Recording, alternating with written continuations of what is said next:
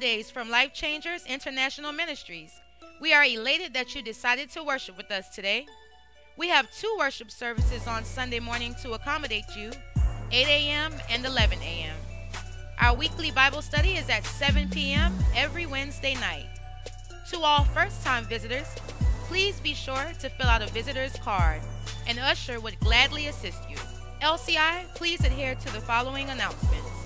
A head count is needed for the men's conference that will be January 19th and 20th, 2018.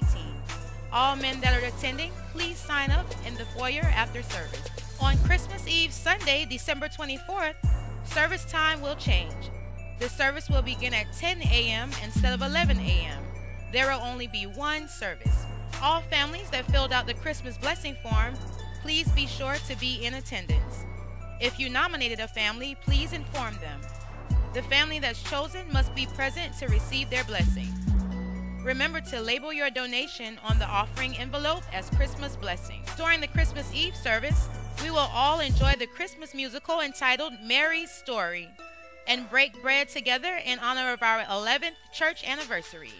Happy anniversary, Life Changers! Thank you for continuing to change lives one life at a time. LCI, let's also wish Devontae and Daniel Simmons a happy anniversary. For the month of December, we would like to wish a happy birthday to Leisha Moultrie, Pamela Dean, Aiden Holmes, Willie Stevens, Tiana Moreno, Destiny Bailey, Cameron Farish, Latia Grayson, Heaven Span, Adrian Bennett Span, and Mother Pinkney.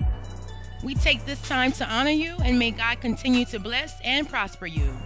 LCI, this concludes your announcements. Continue moving faster, further, and in a shorter period of time.